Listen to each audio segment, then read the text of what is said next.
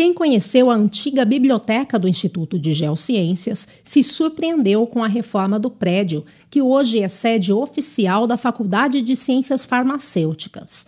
A solenidade de inauguração foi em abril e apresentou ao público as novas instalações, como auditório, laboratórios, área administrativa e direção, distribuídos em 430 metros quadrados.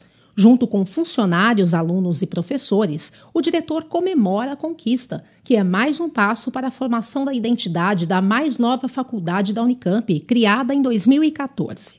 E você tem que ter a interação das diversas áreas da farmácia para elaboração, execução de projetos conjuntos, né?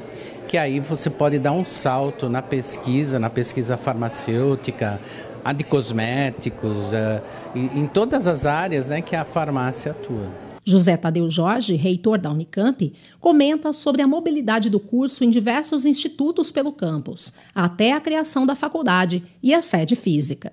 A inauguração desse espaço traz essa referência, consolida a faculdade numa posição da Unicamp e certamente conseguirá nuclear a partir daqui, a partir dessa sede, o crescimento qualitativo e quantitativo da Faculdade de Ciências Farmacêuticas.